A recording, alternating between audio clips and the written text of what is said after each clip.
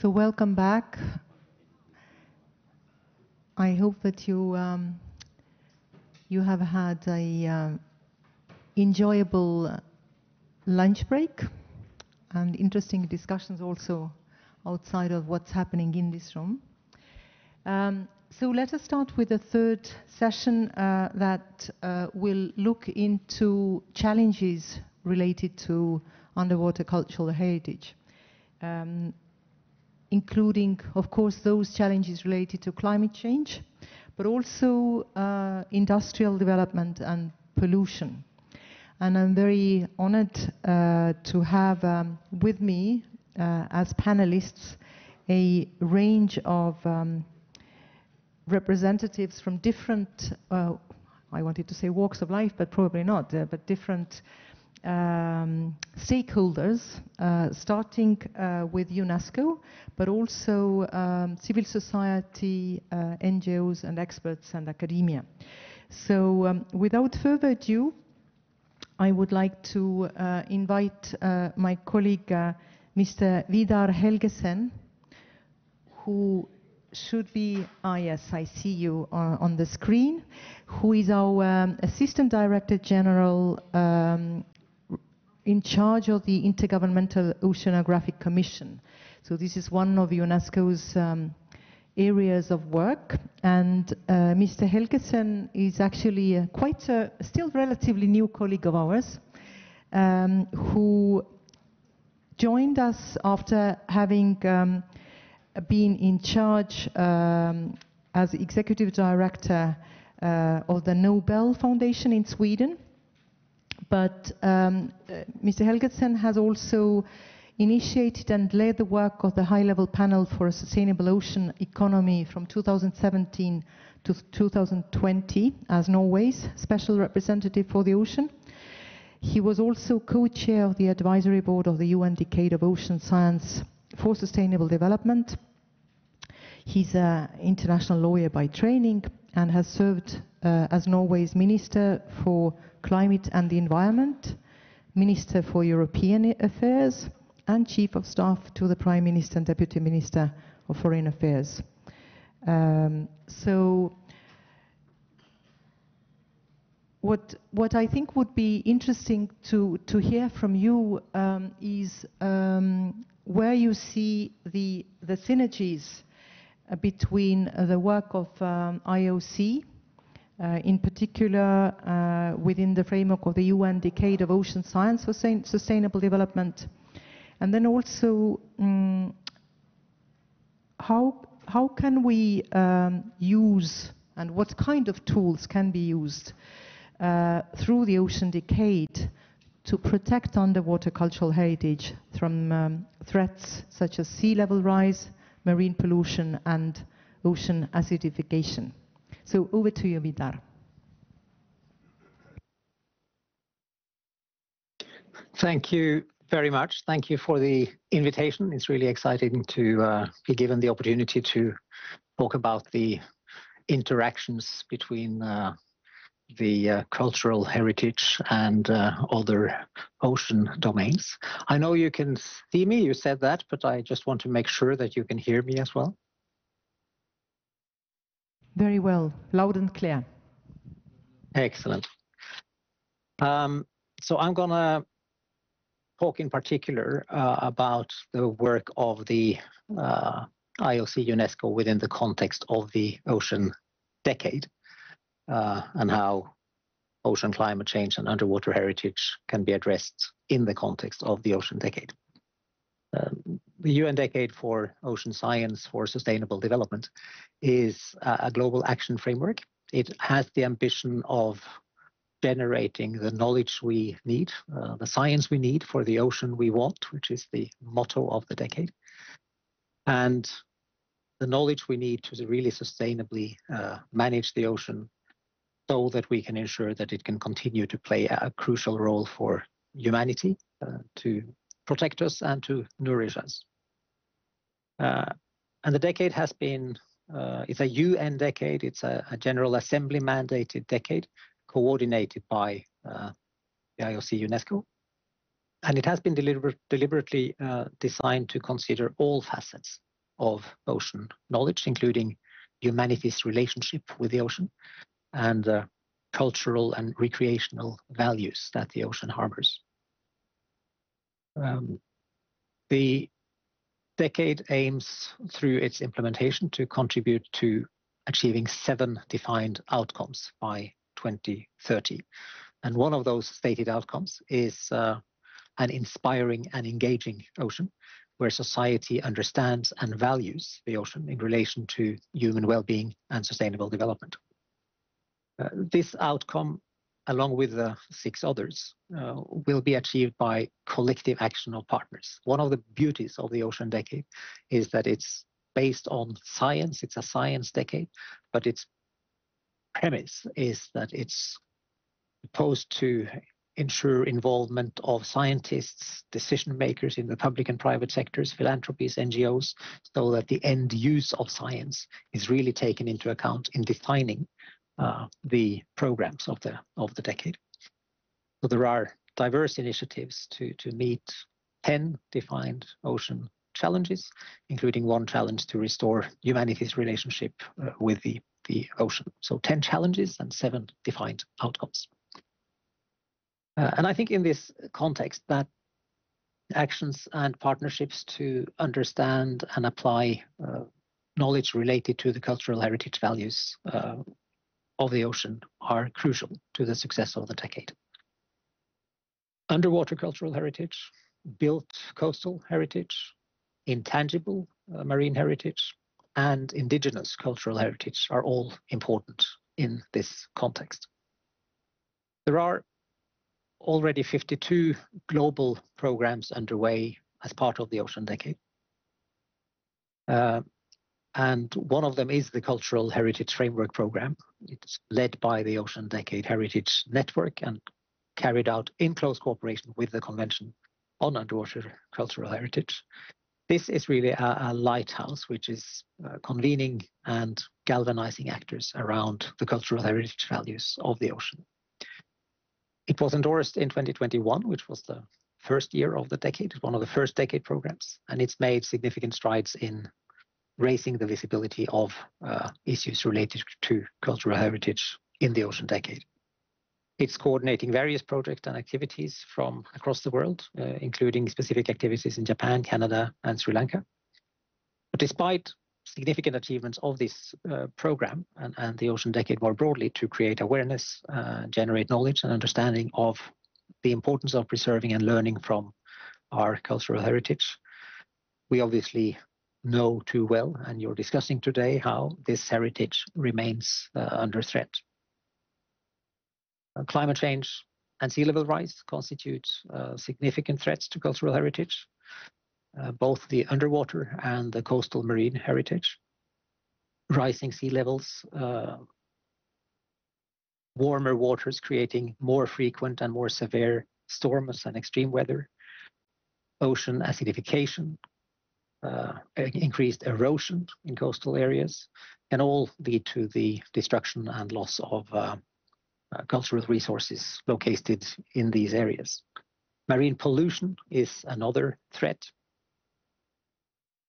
so we're standing at the uh, threshold of a, a, risky future in terms of humanity's risk of losing the possibility to understand the past and uh, by that also a chance to better predict the future. There are, of course, in the ocean decade, across across the other challenges of the decade, there are numerous other programs addressing these threats: climate change, pollution, uh, and uh, related challenges. And these more sort of classically ocean science related areas, I think, would benefit from closer collaboration and knowledge sharing with the cultural heritage community and vice versa. Um, there are, for example, programs generating knowledge on coastal resilience, uh, resilience to the increasing and emerging hazards coming from the ocean, uh, knowledge on coping with sea level rise, on ecosystems and biodiversity in coastal areas, and importantly, ocean literacy. And I'd like to focus my latter part of my presentation on exactly this issue, ocean literacy. that is uh, another of the central themes and activity areas of the Ocean Decade. Um, the framework is provided by a flagship uh, program led by the IOC called Ocean Literacy with All. And within this uh, framework, hundreds of practitioners are working with communities, with schools, with decision makers around the world to increase our understanding of the ocean, its importance, and translate science into action. The ocean literacy principle that the, the oceans and humans are inextricably connected uh, recognizes the importance of human interactions with the ocean and how these interactions have shaped the world we live in today. Generating and sharing information on uh, coastal, marine, and underwater cultural heritage can really help to promote and better understand the ways in which humans have interacted with the ocean throughout history uh, and the importance of preserving these cultural resources. Just that perspective that these, this heritage demonstrates to us how our relationship with the ocean has been there for hundreds and thousands of years, coupled with the future perspective that in the next decades, a lot of that is at risk is enough to give perspectives uh, that should really prompt an altogether stronger action to rescue uh, the ocean. So I really mean it when I say that uh, cultural heritage, traces of human activity and human relations with the ocean can really be instrumental in generating the knowledge and the action that we need to do the right thing going forward. So I think that incorporating uh, the preservation and protection of underwater cultural heritage and coastal marine heritage into ocean literacy programs uh, can help raise awareness about the importance of these resources, but also promote sustainable practices for their conservations, for conservation and for our better management of the ocean as a whole. Raising uh, awareness about the threats to this heritage uh, can also help promote preservation and protection of these cultural resources. Uh, that can involve efforts to document and uh, inventory uh, cultural resources, develop strategies for their conservation, involve communities in the importance of exactly that, um, engage them in the preservation process.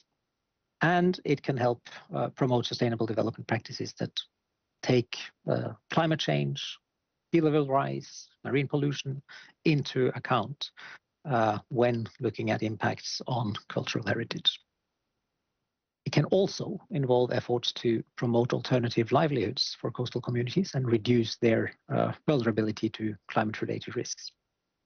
So these are areas for greater collaboration uh, between ocean literacy and cultural heritage communities in the context of the UN Ocean Decade.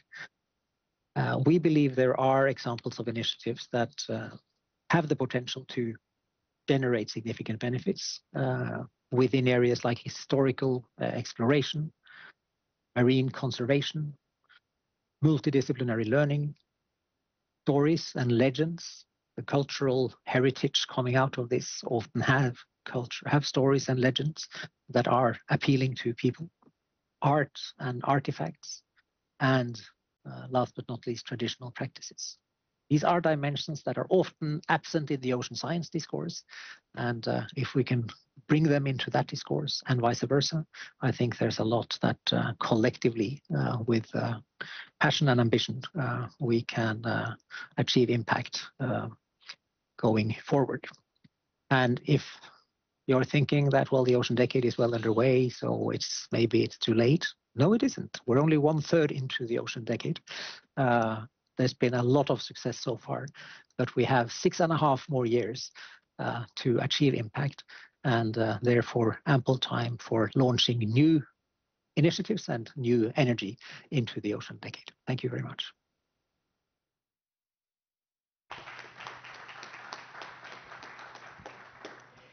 Thank you so much, Vidar, for such an uh, comprehensive uh, uh, insight into the decade action, but also shedding some light on the ocean literacy aspects.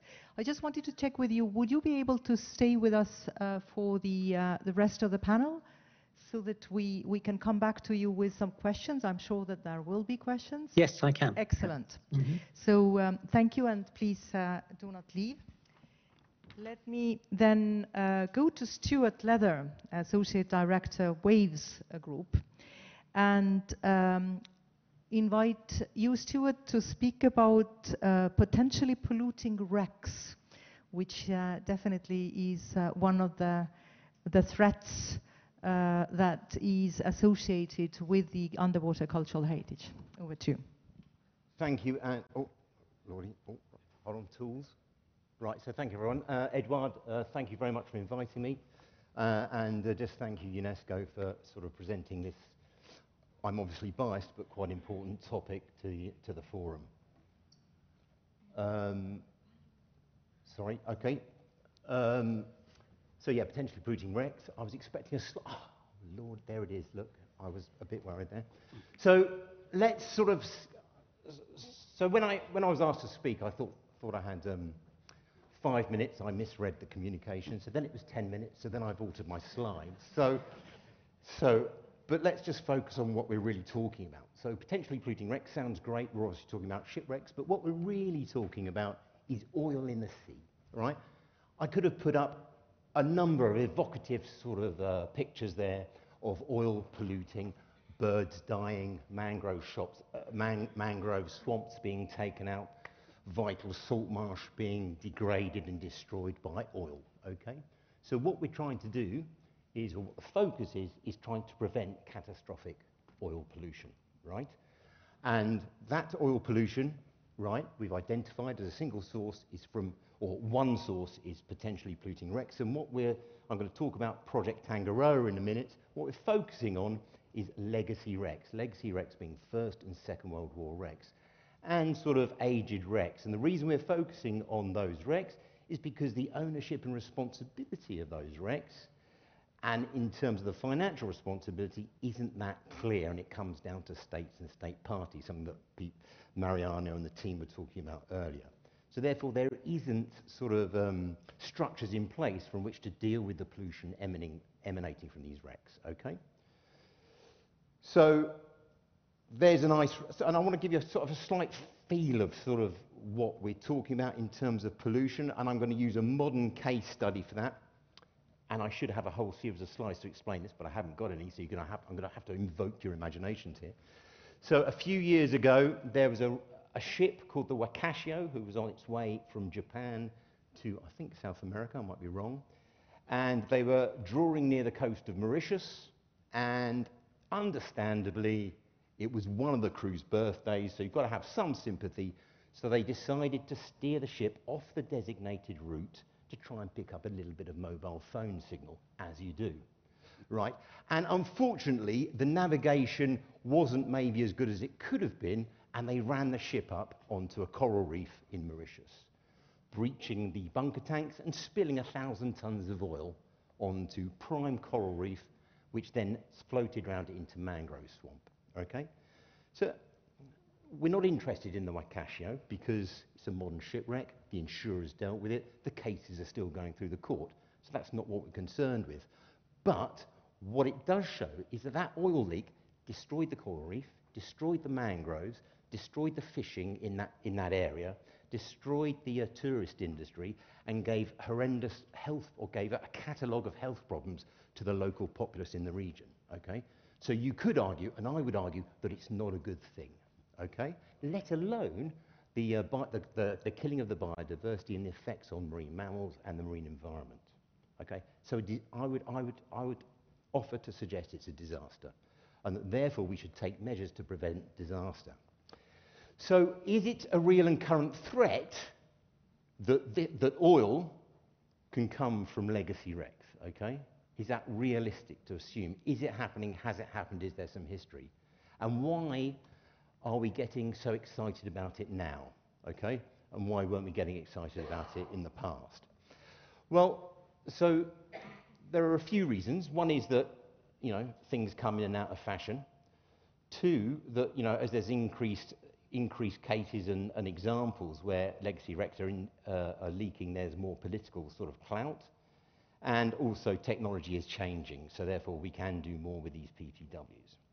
So one of the main sort of thrusts about taking the PPW issue seriously now is the idea that these wrecks, as I said, taken from the First and Second World War, are beginning to degrade, okay, quite significantly. And there's a feeling amongst experts, as soon as you say experts, you can get away with anything, okay, that actually we might be coming to a tipping point where these wrecks suddenly start spilling their cargoes. Is there any evidence for that? Well, not a huge amount, but there is some. So here's a little bit of oil, right? Terrible. I don't know why I put it in, really. But that little bit of oil actually is off the uh, east coast of the UK, off of Kent, right? And here is a tug with what's called a current buster cleaning up that oil. When this oil was uh, identified, and these pictures are from the uh, UK MCA Coast Guard plane that goes out and spots oil slicks, right? When this happened, when this oil slick was identified, this was uh, two years ago, um, all the ships in the area were sort of interrogated. Have you emptied your bunker tanks? What have you been going on? And they were desperately trying to search, search for the source of this oil. Okay? They couldn't, it was a bit of a mystery. Eventually, by looking at the oil plots and tracking the oil spill, they actually identified that it came from, and of course you need a drum roll now, a, uh, a wreck. Okay? And the wreck that it came from, okay, sank in 19, 1947. It was a, an old Liberty ship from the Second World War. And only last year did it, decide, did it decide to leak a little bit of oil. And it's a little bit. It's not, it, if it was a huge amount, we'd all know about it. It was a little bit. It had to be cleared up. It never made landfall, so, so the public never sort of uh, never put, put their arms up and sort of cry, cried sort of foul. But needless to say, the whole oil spill response cost the UK taxpayer and, more importantly, the Marine and Coast Guard Agency £7 million. Okay? Not a small amount of money, especially if you're in a uh, Coast Guard uh, organisation and you're managing that budget, because no one's really sure about where that 7 million, who's going to pay for that 7 million pounds. Okay? So the person that's responsible for oil spill preparedness in the UK is a little bit upset because he now has lost £7 million from his budget to deal with a, what he would call a proper disaster from a modern shipwreck because no one is sure who is responsible for this oil. So therefore, it's a real and present danger. That was off of Kent. Meanwhile, in the UK, uh, in Plymouth, southwest uh, England, a wreck that is iconic to very old UK divers called the um, Eagan Layne that's been sunk in the Second World War and back in the day when Gary and I were young, which is a long time ago, was an epic dive site, absolutely fantastic dive site, no problems at all. In the last three years, it started leaking oil as the wreck is collapsing. Okay? So that's two UK examples. We've got a little bit of oil leaking in the Baltic. We've got loads leaking in the Pacific, but let's not talk about that because we want to talk about Northern Europe. Okay? So there are wrecks leaking all over the place, and there's, there's the odd event that is significant. Have we had a massive oil leak? Not yet. Okay? So let's talk about the wreck. So I thought I'd put this wreck on the screen. This is the wreck of the, oh, no, that's not the wreck. That was when she was in her heyday. That's the Derbent. So she is a First World War wreck, and I deliberately put a First World War wreck as uh, she's over 100 years, years old, therefore will be covered by the convention. So she sank off of Wales. Now, this wreck was, is administered or managed by the UK Ministry of Defence, um, and she was at the top of the list to be assessed for her oil volume to see if she could be potentially polluting. In other words, when she sank, did she contain her oil cargo? So we talked about the Wakashio with a thousand tons of oil in the Derbent was carrying 3,000 tons of oil. So 3,000 tons of oil on the coast of Wales, going up to Liverpool and maybe even the coast of Ireland, it wouldn't have, it wouldn't have been a good news story and it wouldn't have been great for really any of the stakeholders within, the, within that area of sea. Okay, so, so an assessment was carried out. I've got to be careful though, because we carried out the assessment and I don't want to sort of, you know, say how fantastic our assessment was. That would be terrible. But the point is, the point I'm making is not actually about the assessment. The point I'm making is that if you look at the red, We've got a pointer on here. No. So if you look at the red image, this is from uh, this is subsea. This is using a bit of equipment called multi-beam sonar. So the red is the Derbent in 2014, right? And the grey is the Derbent in 2019. And as you can see, the point I'm trying to make is the wreck has changed somewhat. In fact, I would call it a catastrophic collapse at the stern end. It'd be better if I turned the image around, but never mind. Okay? So between 2014 and 19, this wreck has catastrophically changed and collapsed at the stern end, right? We undertook the assessment. The good news story is we didn't find any oil in the tanks, okay? But the point is, these wrecks are beginning to collapse. That's what I'm trying to say, okay? So, oh, the other thing I wanted to say going back, I do love going backwards and forwards. Well, I won't say that. So, the problem is we've got eight, I can hear you. We've got, this, this, this chart really shows the amount of First and Second World, or Second World War wrecks, right? This was created by a guy in Canada who works for uh, uh, Esri, and he does this in his spare time. But it gives you a pretty good idea of the distribution of wrecks around the globe for the Second World War wrecks. And we're using this figure of 8,500 wrecks globally. It, the figure's wrong. We know that there are most probably more right? And of those wrecks, we haven't assessed them all, so we don't know how many are, uh, are oil tankers and what that oil volume sort of equates to. But if we were just to distill that into 400 wrecks, right, we'd still, uh, we'd still come up with a, a tremendous amount of oil, right, and a tremendous amount of money to remediate those wrecks. So if you think about remediating a wreck, that's going to cost, I'm, I'm banding around really loose figures here, you know, but it, it costs two or three million pounds to remediate a wreck. We were going to apply uh, the UK MOD went, uh, was going to produce a tender to look at a tanker off of Israel. Uh, and the budget for that contract was £5 million just to go and assess to see if that wreck, a, a very similar tanker to the Derbent, um, had any oil on board. So, so the order of magnitude of assessing these wrecks, and if you're going to remediate and take the oil off, it's quite a lot of money. So there's quite, so we've got quite a big task ahead to manage these wrecks. They're being managed by the state owners. They're being managed by coastal authorities, so work is being done. But a lot of the work that is being done is reactive as opposed to proactive. So even though wrecks are being assessed, and there are cases, there's four or five cases where legacy wrecks have had their oil removed, it's done on a sort of case-by-case -case basis, right? And normally sort of dictated by political pressure. So wrecks that have been done, there's the Minnesota by the Americans, the Coimbra, fantastic. Uh, there's work being done on a wreck in Pearl Harbor, and I'm embarrassed to say I don't know the name of it. Uh, there's the UK MOD have done the Darkdale down in St Helena. Um, so there's quite a few.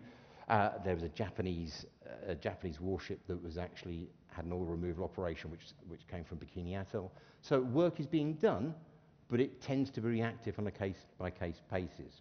So really, what we were trying, what we're trying to do is to bring that together, right, to produce a, um, a bit more of a movement, a campaign, to, so that we can sort of start addressing the PPW problem a bit more globally. And actually, through talks and through some liaisons with the Lloyd's Register Foundation, uh, the Ocean Foundation, and actually some of the strategy work that we were doing within Waves, um, we've actually come up with this idea of moving towards sort of global standards for how we address potentially polluting wrecks. So the idea is to draft some standards or move towards drafting standards to get those standards ratified by the uh, IMO so that then it's very clear about the, the workflow, if you like, or the path of action that you need to take to, um, to address your potentially polluting wreck issue. So that, that can be used by uh, coastal states that are affected by PPWs, but it can also be by, used by, leveraged by state parties or wreck owners to say to their governments, say, we need this, we need more budget to address wrecks. And hopefully going forward, and what's, what we're finding with the project is that we're producing a little bit of momentum and we're becoming a bit of a hub for what's going on with PPWs. And we're actually at the moment trying to look at financing routes and ways of financing regional campaigns and that sort of thing. So we're trying to uh, set the standards so everyone knows what they need to do, and then looking at the ways of financing and li liaising those standards. And the uh, project really, I thought I'd better explain the name. So the name, Project Tangaroa, is Polynesian and it's basically saying that, um, that if you look after the sea, it will look after you. It's the idea of sort of ocean stewardship. I didn't come up with the name. So the main, the main thing that Tangaroa is doing is producing three workshops. So we've had the first workshop in London, which was about the regulatory framework. So we have people from uh, uh, Germany, NOAA, so the US, the UK, so wreck owners, wreck managers uh, in Southeast Asia, right, talking about how wrecks are managed, right, and, and what their constraints are politically as well as financially.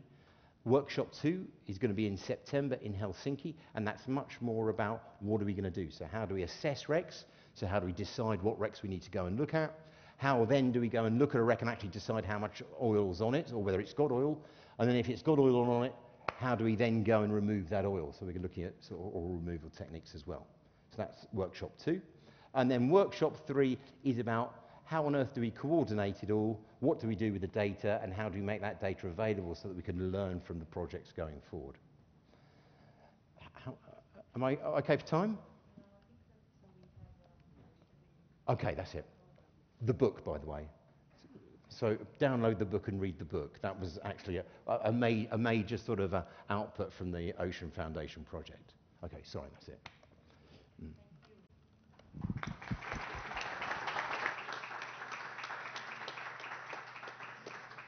Thank you for, for that. That's very um, intriguing and uh, worrisome, I would say. But uh, we, we, will uh, definitely discuss uh, uh, how we can also address uh, that through the Oceans Decade and, and the, the, UNESCO Convention later. Um, I'm now happy to hand over to Marnix Pieters from the Flanders Heritage Agency uh, who is also our STAB member, a scientific and advisory body uh, to the 2001 convention. And uh, your presentation is looking at industrial development at sea as a, as a challenge. So over to you. Okay, thank you. Uh, buenas, buenas tardes. Antes de empezar, uh, me gustaría agradecer al, al, gobierno español y a la UNESCO Thank you very much. I would like to thank uh, first the Ministry of Culture and UNESCO for their invitation. At sea, another challenge, I'm going to move away, a little bit away from the PPW, to underwater cultural heritage. And I'm going to use the case of the Belgian part of the North Sea. You have to know that it's a rather small part of the North Sea. It's only about 70 kilometers by 100 kilometers, and it is in fact a kind of a sand desert, nothing else than sand. So, and as you all know, there are uh, industrial activities in our part of the North Sea, as everywhere in the world, I think, wind farms, dredging shipping lanes, cable laying, sand and gravel extraction, aggregates extraction, harbor infrastructure. We have one special activity, maybe that it's not so common, that we are very keen on safe beaches. So since several decades, we are cleaning our beaches from munitions. So there are, there are a few companies who have a kind of a perpetuum mobile. The, mobile they are continuously digging on our, you know, on our beaches, looking for uh, munitions. So we, we, we, are very fond of safe beaches. But in the meantime, we destroy also part of the archaeological heritage. In, in the past, that was a little bit dramatic. Now we more or less are able to cope with that in another way. And luckily, we have no problems with manganese nodules nor with gas and oil exploitation, so only a limited a limited, uh, limited set of, of challenges due to industrial development. So I'm, I'm, going to give you a short flavor of the, of the underwater cultural heritage in, in, the Belgian part of the North Sea. First of all, afterwards, uh, an, an, overview of the, of the industrial activities and how we deal with them or not. And third part, some, some uh, considerations, some final considerations, and finally, a little, little bit of publicity. So uh, next one. So, just to give you an idea of the known underwater cultural heritage in Belgium, uh, as you see, it's a small territory, only 70 kilometers by 100, more or less, and a short, short history of our uh, of the ratification. So, as we talked this morning about the salvage law, we had a salvage law that dated from 1547 made, made by Charles V, which was still in use in 2007, so we abolished it in 2007 and tried to replace it by a modern heritage law that, that did not come into effect because it, it didn't pass parliament.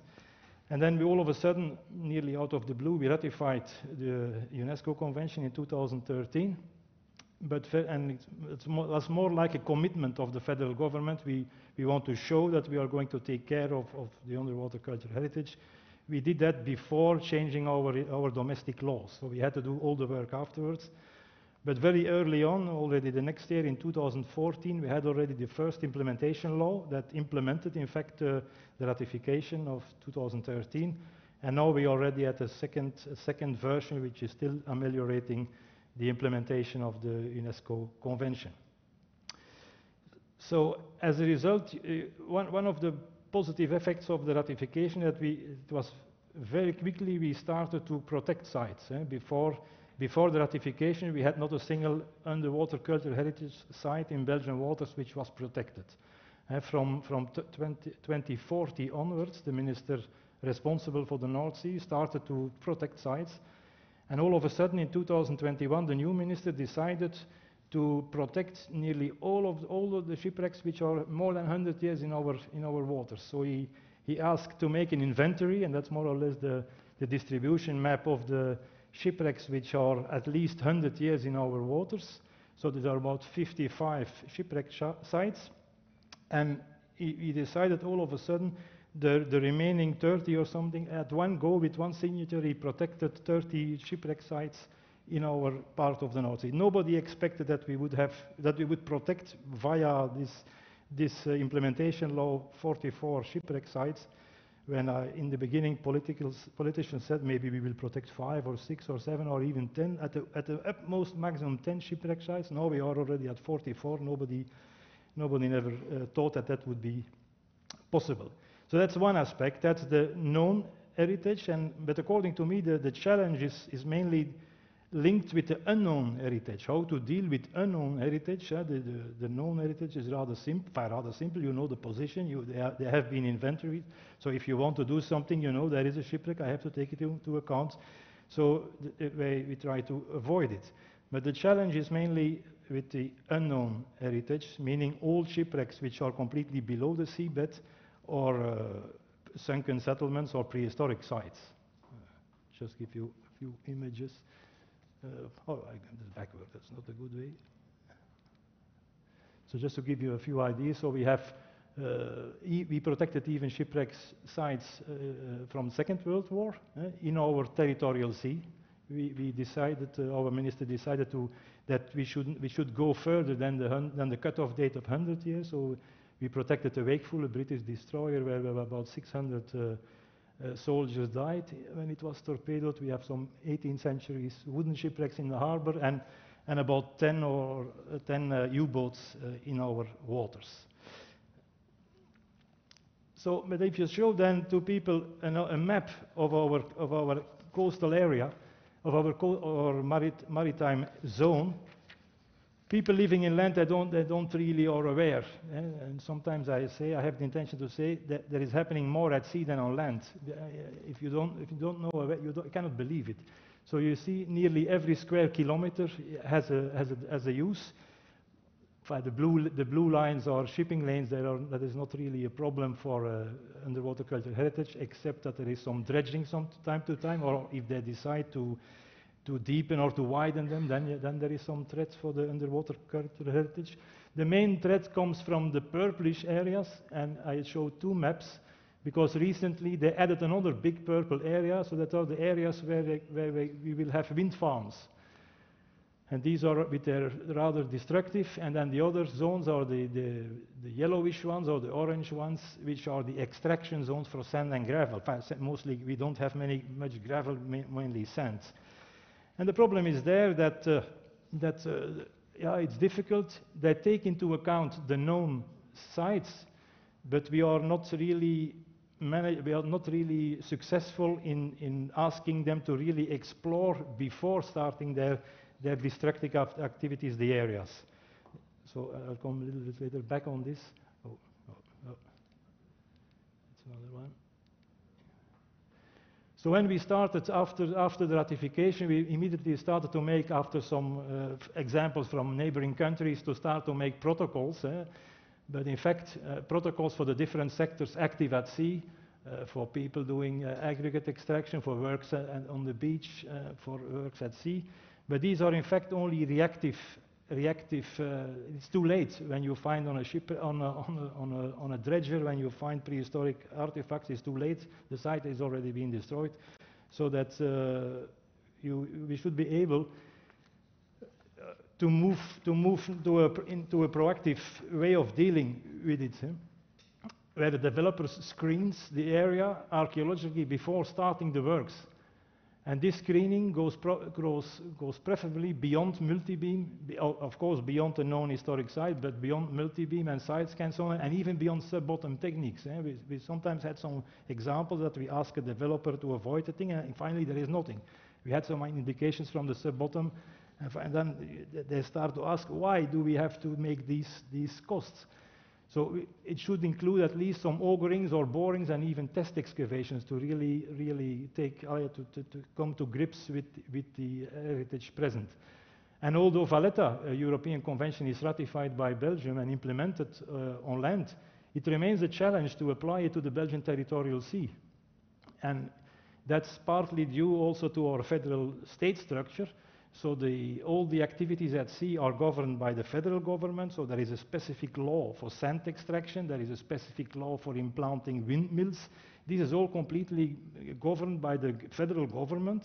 And they have nobody, they are not really responsible for heritage. They mainly think about nature. So that's a, another problem. These uh, environmental impact assessments they are very good for, the, for the, all, the, all the kind of creatures that live in the sea. Uh, every, every living creature has a chapter in the environmental uh, impact assessment, uh, the noise for the, for the sea mammals, and, but only man has a very short chapter. It's just a, a listing of the shipwrecks, and then uh, we did a, few multi-beams there, we didn't see anything more. So that's uh, and then I think then awareness raising in circles of developers is, is I think, the most sustainable way to go ahead, eh, they tend to think that by avoiding shipwreck sites, everything is taken into account, and that's a, a, a huge uh, mistake, of course. So the, the, only example I know, it's not an example from Flanders, it's an example from, from the Netherlands, where, I, where it's, it's, a very marvelous example of a very proactive way, the, the, the expansion or the, of the Yangtze harbor in Rotterdam, where they had a lot of, a lot of study beforehand, and then afterwards, before the, the dredging started, they did the excavation and they put everything in big bags. So, they, and that's in this way, before the dredging of the harbor started, they, they had the archaeological excavations in a, in a special way, of course, with, with the GPS uh, governed uh, scraper to, they, they put it per, per, per, cubic meter more or less in, in, in, big bags and they studied the content afterwards. And so they could at least eh, partly uh, save the, the, the, underwater cultural heritage present in that area. That's, that's the only very well example I, I know. But then we have, we, had some, we have some positive evolutions in our part of the North Sea. So there was a, an, uh, a, a, cable or a, a link uh, electricity cable that came to our country, and then we, they screened uh, the area beforehand, and they avoided. Um, they made a rerouting, a rerouting of, of the cable. So in that way, we, they avoided, but it's also in their own, in their own, it's their own problem. If, if their machinery goes through uh, such a site, they have a lot of trouble, so they tend to, uh, to to avoid from them with, without necessarily taking into account the heritage. It's for their own sake uh, business that they uh, would like to want to avoid the site.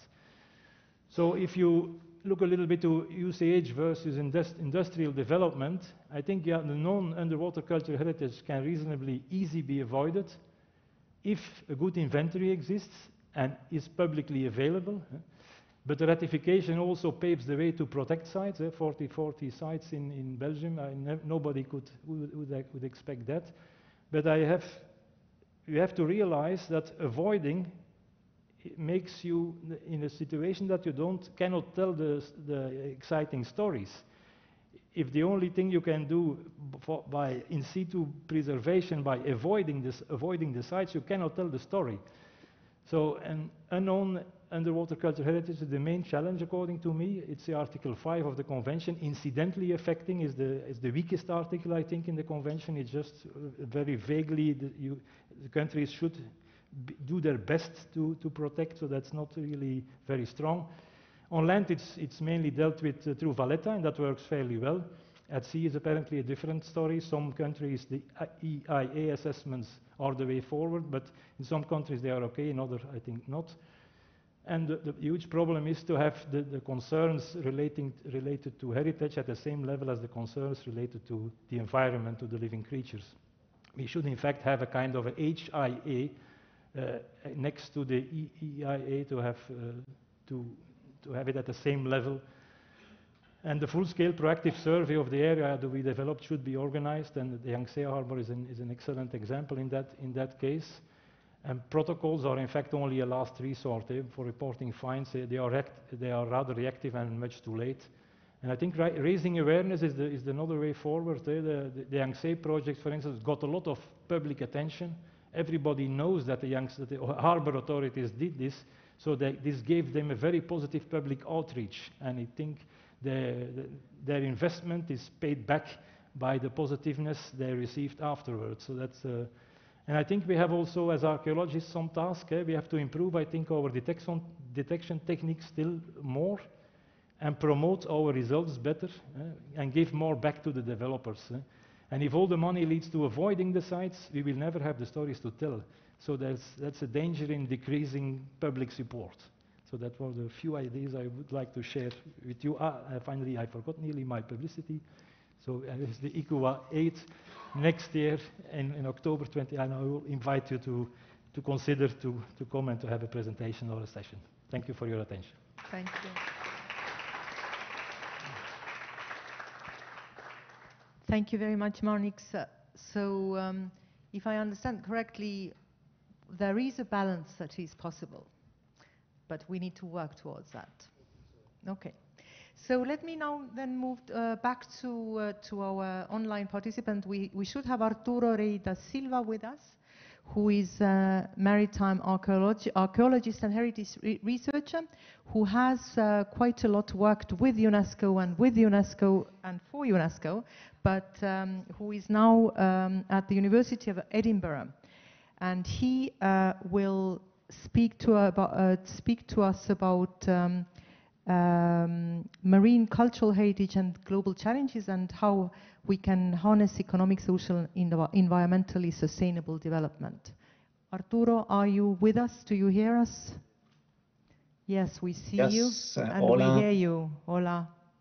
Over to you, Hola, Arturo. buenas. Uh, ok, muchísimas gracias, Krista. Uh, Thank you very much, uh, Krista. Thank you very much to the UNESCO for the invitation.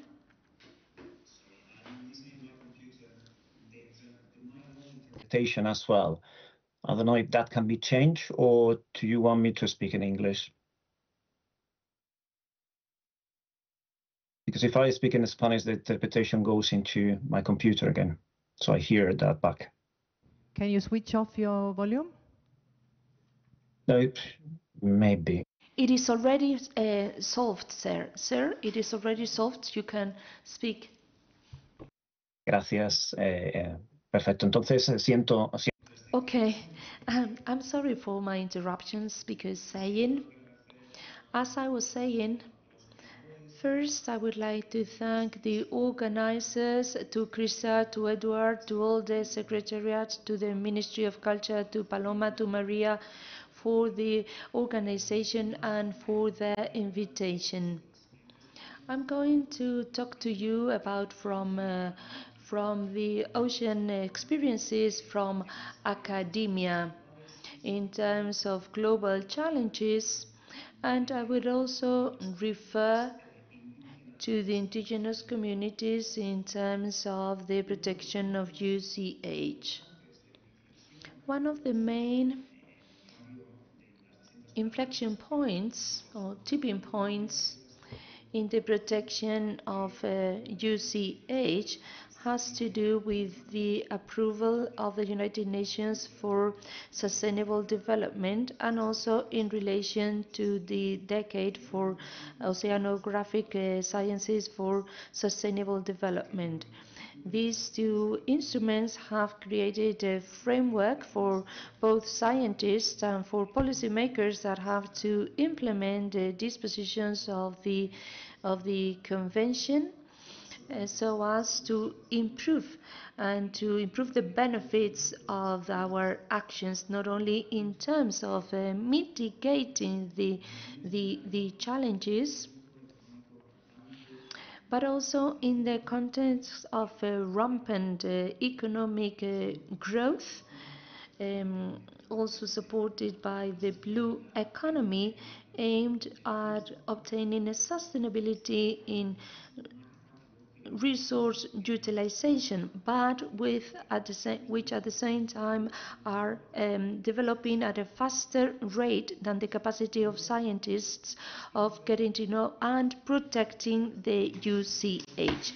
So it is at, this, at that specific moment in time with the decade of the United Nations when we scientists can actually direct our scientists and, and uh, decision makers can actually direct our actions and our policies and our policies so as to protect uh, the um, mm, UCH from the uh, present and existing uh, challenges.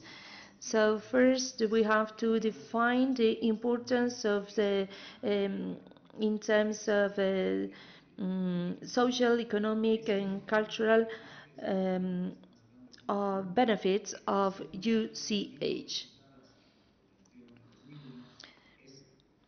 Our region is Region 1, and although it is probably one of the least developed areas in the Convention, it is the area that is making more efforts and is uh, putting uh, in place more actions and uh, providing more uh, financing for the um, for UCH.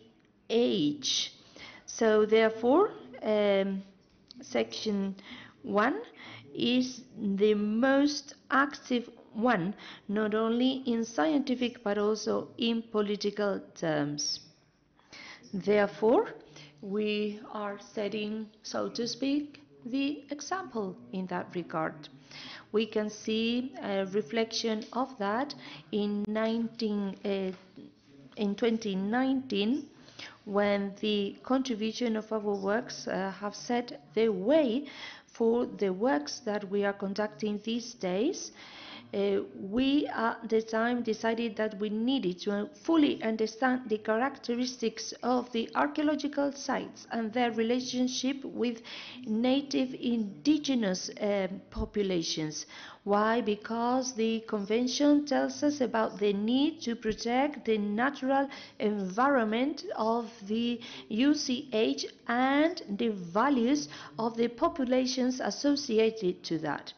At present, we are working on the provision of results, results for uh, protecting UCH and um, always with the aim of devising better future strategies. We have also made progress in uh, different uh, projects and areas within the framework of the United Nations we have conducted research, the research that you have on the screen aimed at contributing to climate change, to eradicating climate change, poverty, livelihoods, gender equality, pollution, via the interdisciplinarity and the transdisciplinarity uh, approaches that uh, would involve all the uh, stakeholders. The final aim is not only researching on UCH, but understanding UCH as the means towards problem solving that, rather than ultimate, the only ultimate target of research. Involving also circular development or circular economy benefits onto economies, etc.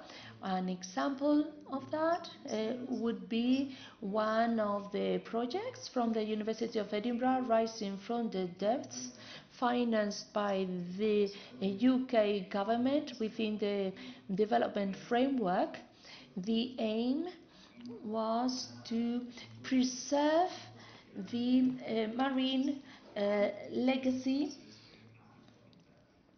in some areas of Western Africa where the economic uh, development is uh, putting a threat to UCH and to natural resources and also to traditional uh, activities. This uh, project was uh, financed together with uh, 27 additional local progr programs participated by local actors and by including the collaboration of important uh, institutions such as the UNESCO.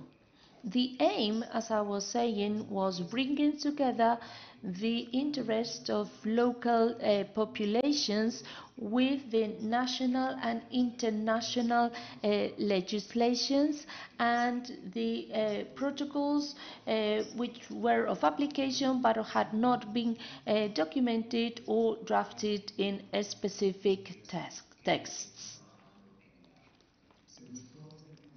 From the beginning, we wanted to define in a joint manner a definition of what cultural marine heritage is on the basis of uh, international guidelines, but very importantly, including the contributions from the local populations.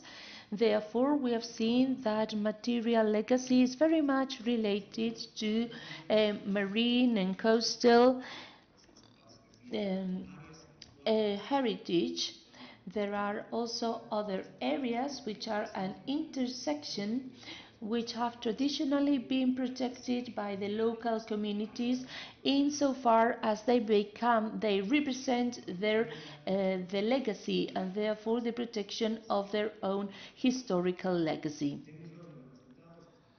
As part of the results which are, are already being published and are already being translated into protocols, we can see that there is a lack of linking between the material culture and the um, areas where it takes uh, place and also the uh, local ecosystem. So there is a lack of, uh, of an integral uh, management. Also at the same time, sometimes the definitions of uh, heritage do not coincide with the definitions of heritage of the UNESCO. So there is a discrepancy between different definitions between local indigenous communities and the UNESCO. So far, Madagascar is the only country that has uh, uh, ratified that that on the part of, uh, of uh, communities. We have also understood how important it is sometimes for local communities the regulation of their own UCH although sometimes they uh, believe that uh, that uh, sunken vessels belong to the uh, dark side of their history. They do not consider it belongs uh, to them, therefore they do nothing. However, there are other sites which are, which are considered uh, divine by them and do actually protect them. Some examples uh, the following the works conducted around the island of Mozambique where we were looking for the intersection of the sustainable coastal livelihoods, which have been uh, looted uh, before.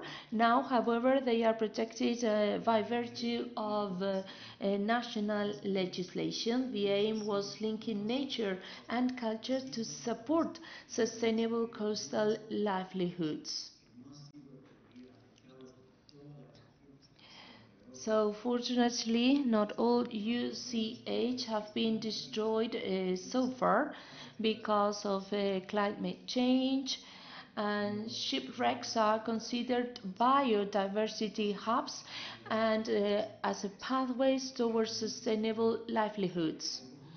So a livelihood uh, system is being uh, created at the island of Mozambique.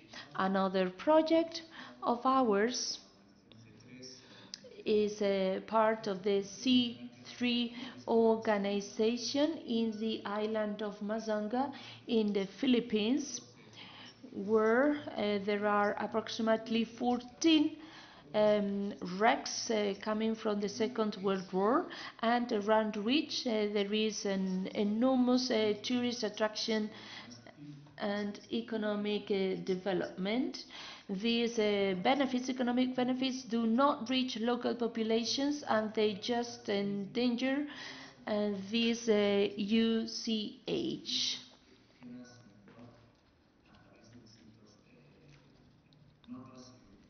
So indigenous communities thanks to the use of uh, their own maps and thanks to the work of the different communities have set up their own means of collaborations with the uh, with the government so as to obtain assistance so as to protect their UCH and to protect uh, archaeological and natural sites.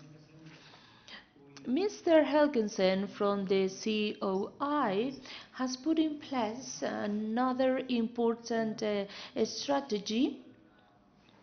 I am referring to uh, communication strategies so as to improve ocean literacy. I'm referring to the Ocean Literacy World uh, Conference. This is one of the main um, uh, strategies of the program um, conducted at the University of uh, Edinburgh titled Sea Voice, whereby we create synergies between marine cultural heritage and identity. So public and uh, decision makers do have access to uh, sea voice and sea voice results. We've seen very recently in Barcelona how the presence of marine archaeologists is being um, increased in uh, fora and gathering. There is still a lot to do. Uh, there's been uh, recently a gathering in Costa Rica attended by many um, experts, but where we saw a lack of uh, marine archaeologists.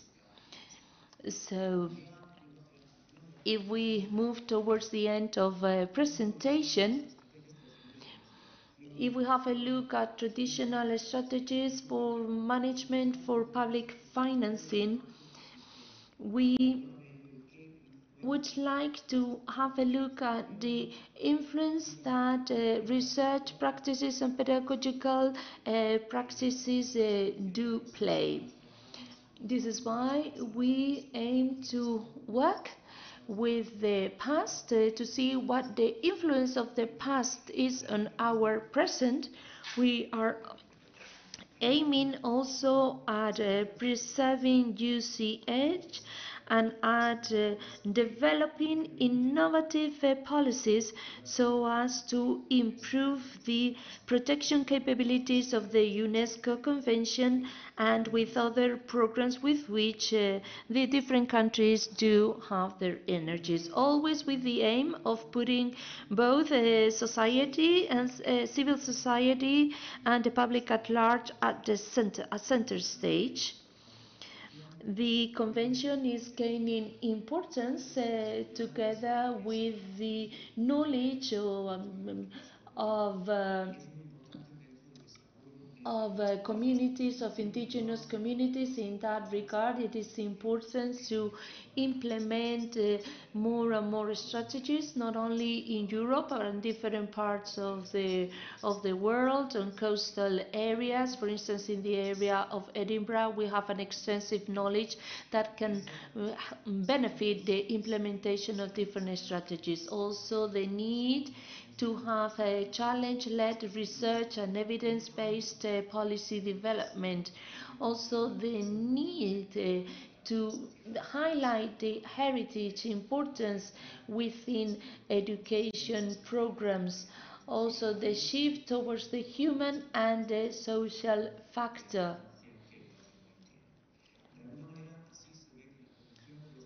So we can see that the 201 Convention is an essential tool to bring human behavioral change to the ocean and to its uh, sustainable uh, preservation we still have some a lot of time ahead to uh, implement all these actions and all these strategies for the next decades within the different uh, present and future programs. Thank you very much for your attention.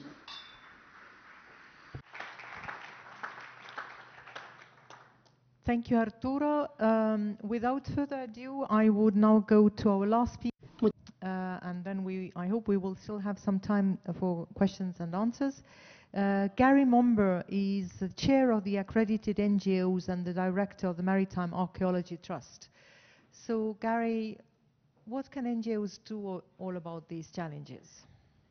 Well, NGOs, as I'm just about to present, can try and address all these challenges and support the work and support the challenges that are being presented today by the DG, by uh, everyone on the panel here. Um, and hopefully I can try and show you uh, with a few small slides within 10 minutes uh, how we will try and address those issues. Um, so, uh, this talk is titled A Proactive Future with Accredited NGOs, Data Gathering, Advocacy and Dissemination. Effectively, we'll, as NGOs, we're coming together, we're becoming stronger, and we're going to try and uh, we're going to try and push forward actions uh, that will try and pick up a lot of those particular issues, particularly relating to the UN Decade of Ocean Science. So, there are 19 accredited NGOs within the 2001 convention, uh, and we also have now a bunch of people sort of applying to become observers. There's 19 NGOs, a very broad range, and I'll show you a few other, uh, I'll come back to these NGOs a little bit in a minute, so I don't need to read them all. Um, 19 NGOs across the globe, uh, a, a whole mix with a lot of expertise and a lot of capabilities. Um, and what we're aiming to do with the new project is trying to harness, uh, harness that expertise. Um, and so what we've developed is a portal, a tool in the form of sort of an uh, interactive database where the NGOs with experts uh, can look at the global distribution and their experts the global distribution of their activities and their experts themselves within it. Um, and the database will also identify all the projects around the world and link them to SDGs. So they provide a list within this portal uh, of all the activities globally, how they interact, where they interact, what the lang languages, what the nations they are, and what zones within the, the UN they are acting as well. And I say we link them to the SDGs because we see there's relevance in actually linking the UNESCO, the UN, the 2001 Convention activities uh, with the SDGs across the board to make sure to demonstrate the significance of the underwater cultural heritage, as has been outlined in many talks today, the relevance to understanding the oceans and society, society in itself. And the strongest SDG, of course, is SDG 14. And as we know, there happens to be a UN Decade of Ocean Science. And so, collectively, we're developing a project which has been submitted now to the, um, uh, the Cultural Heritage um, Framework Programme that uh, Arturo was just talking about, through Arturo. Uh, a program which will be an accredited, accredited program by the UN, which all the UN, uh, all the accredited NGOs are signing up to, um, with the aim being to help understand the health of the ocean and the long-term patterns of change through recording, study and monitoring the maritime underwater cultural heritage. It's called So Much Under the Waves, being Survey of Maritime and Underwater Cultural Heritage Under the Waves. So the goals are to gather data, um, ocean literacy and dissemination, and outreach and advocacy, which are these skills, all skills that are held by the NGOs. And just by way of examples of sort of data gathering organizations, we have a range of organizations like Adramar Sindac from, the, uh, from Mexico, um, I can't read all these now, uh, uh, DEGUWA mentioned earlier, of course, involved in advocacy um, as well, and MASS in Finland. Effectively, we have a range of, uh, range of organizations that are out there working on the ground, collecting information, collecting data from sending dives in the water, collecting information, and then obviously they're disseminating them through uh, publications, booklets, and social media, etc. And invariably, they're working quite closely with education outreach organizations, might be with schools or, or otherwise, or giving talks. Um, we've got many organizations, and some of these have been around for quite a long time. We've got things like the um, Nautical Archaeology Society, been around 52 years. That's international, international programs, international programs uh, teaching, educating, disseminating. Um, we've got the Maritime Archaeology Trust, 33 years, been working in 15 countries. And place, uh, organizations like the INA, been again 51 years, and that works in 30 countries. I want to go in the bottom here, the CIE, which is um, uh, based in the, in the Gulf, uh, working quite strongly to promote the underwater cultural heritage and you know, contributing to why there's so many uh, states in the Gulf that have signed up to the convention. So there's a wealth of knowledge, there's a wealth of dissemination, and within that there's a wealth of ocean literacy that's just been disseminated uh, incidentally outside of the UN Decade of Ocean Science. So the, the idea is to try and bring it in, bring it in together, bring it in within an umbrella as within a UN Decade project, and start promoting it in, uh, and, and uh, pushing that uh, information forward. Um, and what it's done is it's linked to the seven societal outcomes, uh, seven which were mentioned by the Director General earlier, and in particular to this se session, we're thinking about climate change and also threats to the ocean. So one I've got here is a predicted ocean, which is one of the outcomes, maritime heritage, act as datums uh, for climate and coastal change with which they can be measured. Um, and I was talking to Ahmed earlier uh, about uh, challenges to cultural heritage along the Tunisian coast. And it's, you know, I mentioned the alert program as well, the coast of France, which goes down to Spain and Portugal and the UK. Um, we, have these, we have this research into coastal heritage, uh, which helps us understand changes to the coastline through time. It's not just the coastline, it goes underwater as well. Submerged landscapes, we have many in the Baltic, um, we have some, well, one or two in the North Sea in the Channel, um, and they can actually tell us about past changes to uh, the sea level rise, etc., and the coastline. And uh, here, an exposure of archaeological material for the first time in hundreds, thousands of, hundreds or thousands of years can be direct evidence of coastal change. So this particular example is 3,200 years old. It's pretty much gone now. It's Only, they're only around for two or three years. But you can use the archaeology to say, look, the coastline is changing. Here, here's the evidence. And people say they'll look at maps and charts, but they only look, maps and charts only go back so far. Um, and you can use the archaeology to give much stronger indication. And so that's something that we can do, and as NGOs, a lot of them have been doing over the years, um, and we can continue to do. And we're going to start creating sort of basic standards and recording standards to get that information to, to uh, then um, submit it to the, the, through the portal into the database so we can start collating the information. And then we're going underwater more so. We got a clean ocean where sources of pollution are identified, recorded, and monitored. And I think Stuart made that quite clear that it's potentially a, a dramatic threat uh, to the underwater cultural heritage and, and to the environment. And we have, you know, CMAS, um, all, the, all, the, all, these groups that we have linked to diving organizations, uh, these NGO, CMAS um, uh, NGOs linked to diving organizations around the world and the groups themselves. And we can galvanize those to get information, basic recording of certain sites around the globe through this network and the network that will be growing to feed back into that central database. Just simple information, which will start bringing information back about those 8,500 wrecks as, me, as, many others. And those two um, societal uh, outcomes of the seven, uh, oops, are significant for discussions today. But in doing that, you also start to um, look at the other outcomes, an accessible ocean, because the work you're doing, be it sort of this photogrammetry, examples of which we've seen before, or this or multi-beam surveys, it actually gives people access to the ocean and makes it more accessible to the non-diver as well. um, issues of a safe, safe ocean. You start understanding about wrecks, you start understanding why they sank, where they sank, dangerous places, don't do it again. And it's wisdom from hindsight. You learn about these disasters in the past and you bring them to people's attention as well. Healthy and resilient ocean. You understand in coastal and submerged archaeological sites within the ecosystems. You can monitor the ecosystems. You know when the wrecks went down. They hit the seabed at particular dates. So you can, uh, when you know the dates, you can look at, look at those sites and monitor them from the past, see how they're changing um, uh, through time, and record that. And of course, they're artificial reefs. They feed into tourism by the fact you've got diving and you've got fishing, you've got income streams coming from, from them as well. So the more information you can get from these sites, as we all know, uh, the more they can actually feed into all those seven societal outcomes. And what we have within the NGOs is that network that can actually facilitate that to support all the other issues that have been discussed today. And ultimately, as was brought up just now by Arturo and the Director General, is all that information can be brought to bear to tell a much more inspiring uh, story, an inspiring story about the ocean itself, inspiring and engaging ocean.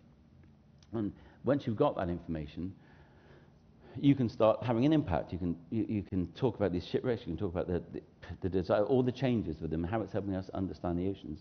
And that deals you a, a stronger hand when you're approaching politicians and, and basically advocating for their underwater cultural heritage.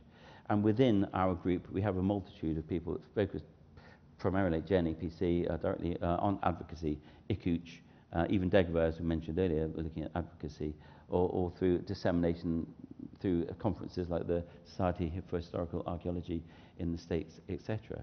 So we have all these groups in AIMA in Australia, all these groups that we can use, getting the information, disseminating it, teaching people about it, and then advocating for it in the future. And then I'll just finish with a little slide uh, showing us where these uh, uh, accredited NGOs are active at the moment. And this is sort of Project Philbook. And even though these NGOs tend to be sort of, it's a, NGOs are more of a sort of Western world construct, so they tend to be Western world. Uh, there's activity all around the world, and the fact that we now have this, uh, that fact that we now have this observer status means that we can start reaching out to all the partner organizations, aren't necessarily NGOs, that they can also contribute to this input, the data, and they can start doing something collectively that's very valuable across the globe. And I'll just I'll do that one a bit quicker. There we are. Enough of that. Um, and so at that point, I think I'll just draw it to a close, but just to say that the NGOs hopefully can make a major contribution, and this is a process that really is just starting uh, in a way now, uh, and we're developing in a way that we haven't done before. So thank you very much.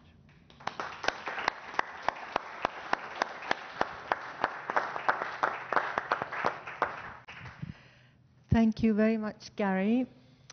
It's comforting to know that there's an NGO community, and as Arturo said, you know, uh, uh, the uh, academy, academia to, sort of look into that and and start to also, uh, you know, organize, get organized, you know, the collect data, uh, make sure that our voices are, are heard, bring it to the attention of the, uh, or the uh, mm-hmm. policymakers and decision makers.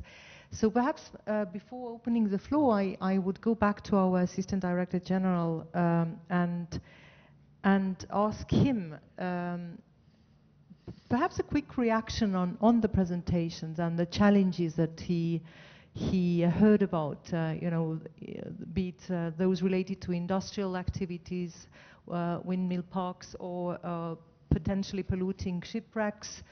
Um, so how, how do you see uh, that we, we can make sure that this UCH community, uh, that our voices are heard also within the framework of the UN uh, Decade uh, uh, of Oceans?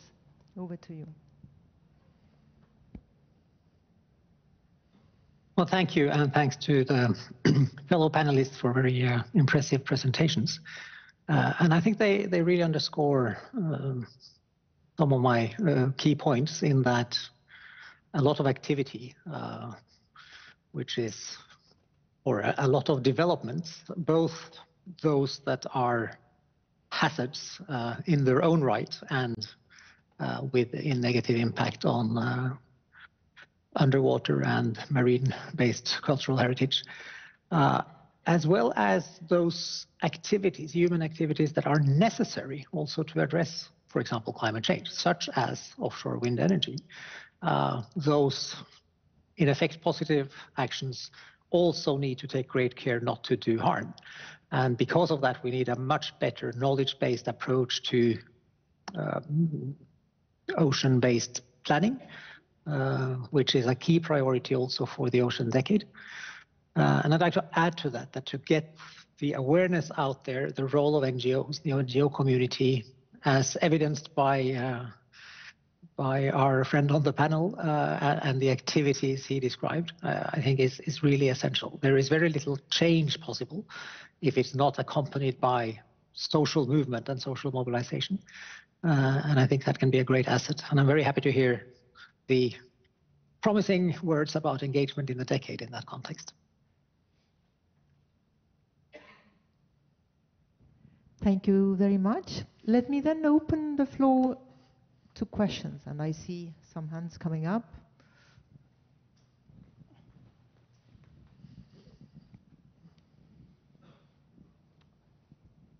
I've got a couple of questions and comments. Um, Would you also perhaps introduce yourself for, for those I'm who are uh, connected? Timmy Gambin from uh, from Malta. Um, so one is, I think Arturo mentioned a key factor, but it seems to have gone discreetly under the, the radar, which is underwater cultural heritage as a means for expanded research rather than focused research. I sincerely believe that the days of studying a 4th century BC shipwreck for the sake of classifying amphoras from a point 1A to a point 1B are over. One. So well done, Arturo, but I think that that phrase should be bigger and in brighter colors. The second is a comment to, to Gary. So given that your NGOs cover so many years and so many different seas, a small project we started in Malta is going back for legacy temperature data. You know, divers dive with computers, so they dive, they like to have their favorite dive sites. So we've started to gather temperature readings from these divers from the past two, three decades. If you could re replicate that over, you know, 50 years over the amount of countries, I think that will give you and your, your, your organization a massively important data set with regard to temperature changes, uh, etc. The third comment, unfortunately, is the, uh, um, it always seems to be me to introduce the elephant in the room. And that elephant today is the 50-year cutoff date. Because in the context of the uh, convention, many of the sites uh, mentioned by, by our colleagues in this, uh, in this panel are not considered to be underwater cultural heritage. So on the one hand, we can, you know, speak till the cows come home about using this for leverage, etc. But on the other hand, the politicians could use that as a card against us and say, listen, you know, if UNESCO doesn't treat it as cultural heritage, why should we care? And we should care because of the things that Arturo mentioned, the potentially polluting wrecks. But I think that for those countries that do not have shipwrecks uh, covered by, by a 50-year law um, limitation, I think that this 100 year, so, so I mean, we, are we expected to wait 20 years to start applying cultural heritage laws and approaches, etc.? Same will go for planes. They're not considered cultural heritage today. Preservation in situ is one of the guiding principles. One of the hardest assets to preserve in situ are aircraft, and in 20 years' time, there's probably going to be nothing left of them to, to, to preserve and to look at. So that's the elephant in the room. If it leads to further con uh, conversation, then, then it would uh, have served its purpose. Thank you. Any reaction from the panelists? Well, you have your microphone. Oh, yes, I have my microphone. um, Yes, well, no, that's interesting. The elephant in the room uh, aspect. I mean, without changing the legislation, which is not my area, uh, of course, but I would say that there's obviously, um, by linking with the UN Decade for Ocean Science, one has a justification to explore and work with those sites uh, under that umbrella and say get the extra benefit. And so you see it as more of a, you look at these sites as sort of, yeah, well, they're cultural assets to understand the seabed, but also in their own right. And so therefore there should be some form of, there will be some form of interest applied to them and protection that way as well. Because I think in the comments before about the protection of underwater, the UNESCO Convention only really works when it's going to be, everyone buys into it and it's enforced anyway.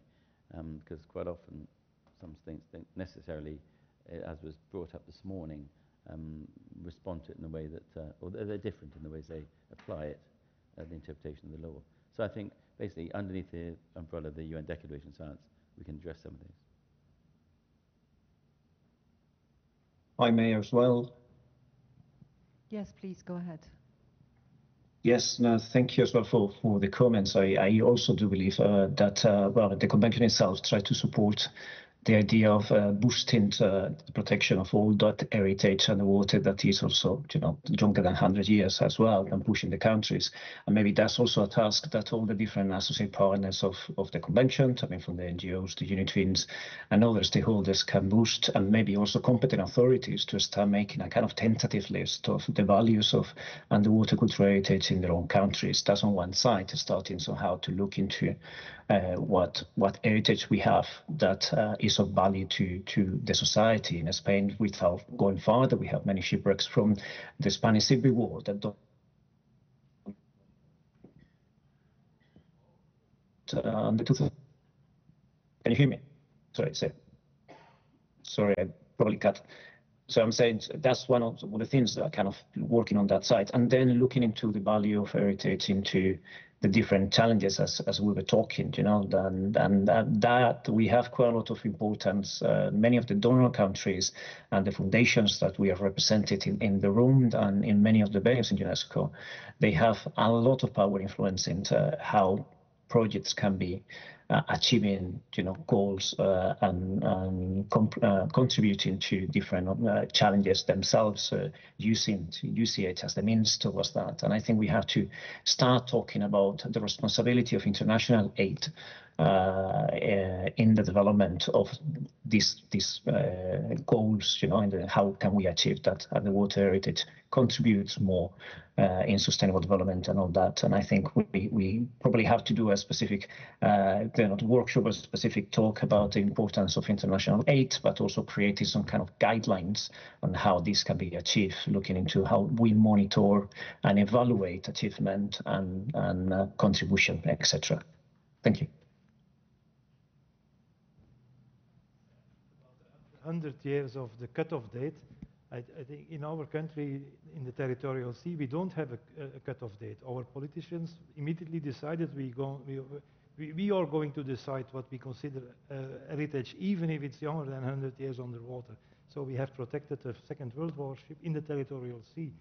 So I, it's much easier to raise awareness, I think, for World War II than for World War One.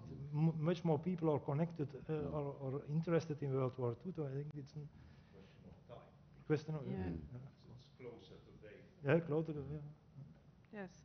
Th thank you for uh, your intervention of the panelists. Uh, very interesting uh, um, themes and argument, yes, to debate. And I'm very interested in the activity of uh, um, preventive archaeology that was presented by a colleague of the STAB. And uh, um, I, I, I, would like to put on the table this uh, argument. Uh, um, I think that uh, it is necessary that during the public works uh, or offshore works in the sea or along the coast where it could be possible to find remains of wrecks, um, um, the underwater archaeologist expert in using uh, sub-bottom profiler and other um, uh, tools that are uh, used during the these uh, preventive activities are present on uh, during the works.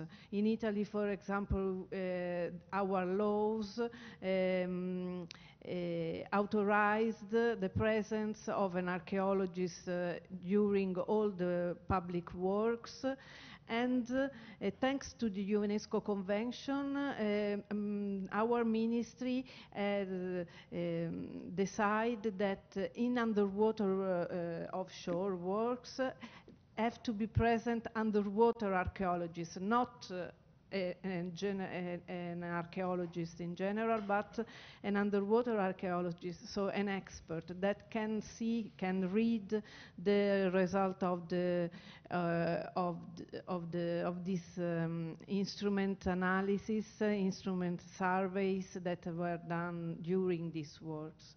And I think that uh, in this period, uh, when offshore uh, activities and works are more uh, and more present, uh, I, I it's important to um, to have experts that know the, the underwater cultural heritage that can prevent the destru destruction of, of this cultural heritage. And also the problem of the uh, pollution uh, and uh, it's a, a, big problem and I think that thanks to technologies probably mm, we can prevent or try to prevent the um, uh, the deterioration of these uh, uh, wrecks and try to protect is a big, a, a, very important. yes, it's probably yes, but I don't know. Uh, for example, uh, thanks to your European uh, project, now I, I have seen that there are a lot of projects that are testing and, and, that are devoted to test uh, new technologies uh, not too expensive in the for example i'm working in one of these uh, called nerites um, that is devoted to um, design um, small UV um, UV um, tools that can do the assessment of underwater cultural heritage, a wreck of another archaeological site. Uh, and if we can evaluate uh, the state of conservation of a lot of uh, artifacts, we can plan which is uh, at risk, uh, and we can have a list of the dangerous site, dangerous site, and invest in the protection of the the one that, uh, that are at, at, risk, instead to waiting that all are in a very dangerous situation. It's, we can start with one, two, three, and then uh, plan for the future the, uh, the activities. But our politicians have to know the problem, and our, uh, our um, goal is to to inform them. Otherwise, if nobody starts, uh, it's impossible to, to finish the work. Thank you, Barbara. Yeah, I, I, I uh, also noticed that both um, uh, Stuart and, and Marnix uh, also mentioned uh, this importance of a proactive approach. Mm -hmm. That for the time being, we we start to have data, we start to have awareness and knowledge about the sort of priorities and what, what are the issues. But it's always a reactive approach. Mm -hmm. So how can we actually have this mind shift and become proactive? It's a, perhaps a rhetoric question. Yeah, I, I, yes, I think we, we have a, I think the duty to improve our inventories anyway. So we should maybe invest more money in scientific research, in screening, in screening the areas, uh, just uh, separately of, of works going to be there, just to screen your, your, areas which are under danger. Because what I forgot to tell, the, the, the purplish areas and the, are, there is that we have which are for windmill farms and the, the orange for extraction. We don't know, we don't have many much information about these zones. So if we, we should maybe try to increase our information the more information you can give to the developers, the better. They, do, they don't like uncertainties. So if you compare to archaeology on land, if you have to, a project to be developed, to, to, you dig some trial trenches and you know.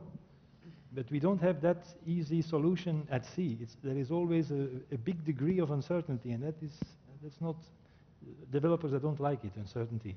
They want to know in advance what is to be expected, what I have to pay, and, and yes, they have to pay, but how much and and for what? Do you, uh, I can, so, so similarly, so the whole idea of Project Tangaroa is to bring together the different inventories that exist, improve on those inventories, then come out with solutions and financing pathways, as I said, so that we can start being proactive as opposed to reactive. That's really the whole drive of, of, the, of the Tangaroa campaign, really. Yeah. I could I'll just uh, talk about, I suppose, in relation to the NGOs. Um, I suppose the role is, the, the idea is to get people out to identify core standards which are there, just apply them for the for eyes on the ground, as it were, eyes under the water. And that will provide that data set that can inform and is inherently some form of it's a proactive method of identifying where those risks might be or they're existing or identify those threats in the future. So that will contribute. Um, and then once we have this vast amount of very straightforward data, we can start looking at other research questions, as Timmy mentioned about the temperature changes in the um, in the sea. You, you, have material that you can start actually saying, well, let's pull from that, and that's an area where further research is appropriate. So you can then sort of concertina it up and work with UNITO and the universities, identify areas that we can uh, develop those themes. Any reaction from our online participants, or if not, then I, uh, I, I, also wanted to come back. Uh, Arturo spoke about the engagement of communities and, and indigenous people, and um, um, so how can we also uh, engage them, and also uh, perhaps within the UN decade? Uh, uh, let me go back to, to our ADG and see how how does what are the sort of um, outreach uh, efforts within the decade uh, to make sure that we, we have the communities, we have indigenous people, but also perhaps SIDS um, and those who, who, whose voices are not always heard. Yeah, that's a, a really good and really important question. And we have, uh, we started out in the decade really having an ambition that there should be partnerships between uh, wealthier and less uh, wealthy countries and institutions uh, from these. And when we look at the decade program so far, we have seen uh, quite a lot of involvement of SIDS and LDCs, quite a lot of attention and increasing, actually quite impressively increasing attention on traditional and local and indigenous knowledge. But we're not seeing a lot of leadership roles for institutions in SIDS, for example. Uh, that led us to take action earlier this year and in one of the calls for decade actions to design that to be specifically targeted um, towards bringing SIDS institutions in leadership roles, in co-leading roles in decade programs and projects. And that call was quite uh, successful. It's still under deliberation. Uh, an assessment, but, uh, but we saw that if you make an effort to uh, call for more such leadership, that potential exists. Um, obviously, such approaches has to be accompanied by capacity development, uh, by guidance and tools for different stakeholders to engage and learn more from best practice on engaging indigenous and local knowledge holders and local communities. I think the regional coordination structures that we've established under the decade uh, has a very important role to play in facilitating that uptake of, of learning and experience. And obviously, last but not least, national decade committees. We have too few national decade committees, but those that we have are uh, mostly quite active and play a very important role for uh, generating and mobilizing activity um, throughout the decade.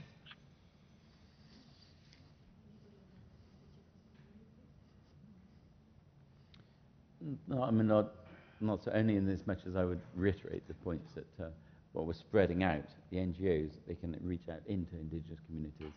And, you know, you know there are connections in Madagascar, etc., and with the Rising from the Depths type projects in the East Africa, East Africa, I think there's, there's routes there that we can reach these communities through that mechanism um, and then give them a voice through that, but there's probably other venues as well. So, so the NGOs can play their part again.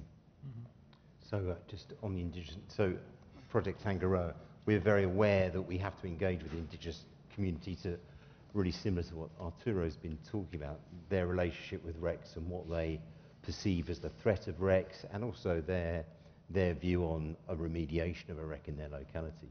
So, you know, that's very, we're, we're taking, we're making sure that we don't come from a standpoint that there's a wreck it needs reme remediating. We're very much in terms of that, uh, negotiating with local communities and communities that would be affected by a potential spill. I see two, Yeah, two hands up. Oh, yes. Sorry, can I Go ahead, just, Arturo, just yes. sorry, I was with my hand. Uh, so no, just to to stress uh, everything has been said in that in that sense. I mean, just wanted to recall the the 72 convention, the World Heritage Convention, and how there were debates in the 90s specifically to create a body for indigenous communities, uh, so their voices could be heard as well, uh, and how that was somehow not uh, approved by the state parties because obviously, I mean, these conventions eventually, the, the, the ultimate power of the convention and the implementation uh, resides, as we all know very well, in, in the governments in the states, and different states have different views on how to implement that in, in their own countries. What resulted of those discussions in the 90s was more the creation of a special indigenous forum, uh, indigenous communities forum, on where communities were raising their voices about the different issues concerning uh, the World Heritage sites that were around the areas where they were living. Uh, and those voices were sent especially to the World Heritage Committee to take decisions. So there are different structures that can be explored one way or the other in, in, in, in the 2001 convention that could be interesting uh, to have, especially as well uh, inviting indigenous community to talk about indigenous communities uh, because obviously we, we, see our faces and uh, none of us may be uh, from indigenous community background. So we, we probably have some bias when we talk about this. Is something I saw as well in the UNESCO Ocean Conference in Barcelona, there was a lot of indigenous community talks uh, without much representation, and the same for SIDS. That probably has to do with governments, uh, you know, delegating, and also uh, problematics of transportation, especially from SIDS uh, in the in, in in the Pacific. But I think I mean there are different initiatives in terms of policy and governance in which uh, indigenous communities and indigenous knowledge uh, can be definitely represented and is, is not trying, is giving them a voice uh, uh and, a, and a decision, uh, you know, possibility as well in, in the table. So that, I think that that's important to explore. Thank you, Arturo. We have two hands up, so if, if we can have microphone. Oh, you have a microphone. Go ahead then. Hello, my name is Ioana and I work in, bueno, mm, trabajo en el Instituto del Patrimonio Cultural. and I work in the Institute for Cultural Heritage in Spain, and there was an aspect that was mentioned by Arturo that has taken my attention. On the one, on the one hand, the scientific community considers uh, wreck as cultural heritage, but when that is asked to the local community, the local community does not consider that as cultural heritage. We really want to engage society for them to preserve that heritage, but we actually need uh, their consideration of uh, that or whatever as cultural heritage. Uh, well, the process through which they are taught about what it is out there for them to do their job and then when we are involving, engaging the local community for the management of heritage, oftentimes the returns do not go back to that community because divers go there with a tour operator, they just do a round and then they spend money somewhere else. So there is a failure there. We need them to be engaged but we also need to consider or uh, to, to find a way for those returns of benefits to come back to them. When we talk about local communities, we always refer to areas underdeveloped or, or less is developed, but we do not refer to it when we mention remote places, uh, remote villages in, here in Spain or Italy, where local communities are not uh, giving a voice and not taken into consideration for decisions. La- Thank you very much for your comments. You are very much right in many aspects. Actually, well, the presentation gives a positive approach to the understanding of the heritage of low indigenous communities. Um, internationally speaking, there is a distinction between local and indigenous communities, but actually, there is the aim is to understand the link and interaction with the different communities and the understanding, the potential understanding of uh, heritage to engage in dialogue. There are, of course, some national uh, guidelines and definitions as to what it is considered heritage in different countries, which are in line or, or linked to the international agreements that countries, uh, for instance, of Group 1 approve. And in Africa, national legislation uh, have remnants from the uh, colonial power and they have not adapted to the conventions that have been um, set up and when we talk about development, we emphasize the economic side significantly. And that has been one of the problems for the including uh, cultural heritage within international development program. Well, to name few, 2030 only mentions agenda mentions cultural heritage in SDG 11.4 when they talk about world heritage. And to me, the indicator to measure that cultural heritage is per income capita uh, than on cultural heritage.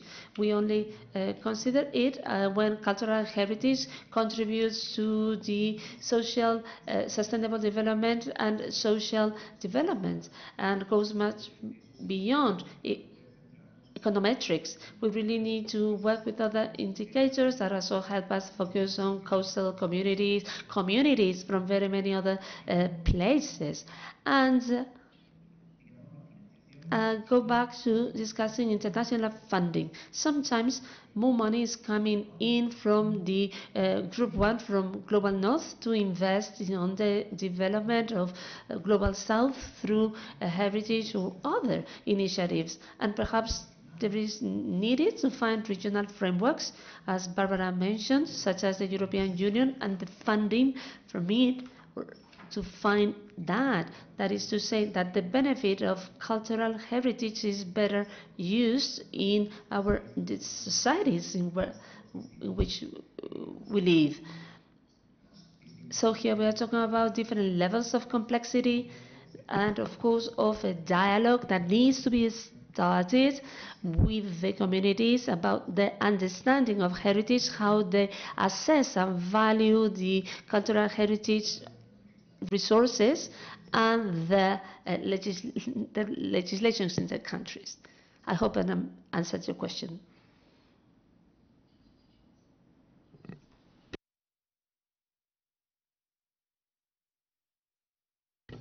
A wreck is colonized and encrusted by living organisms, and they create a sort of special habitat inside the wreck.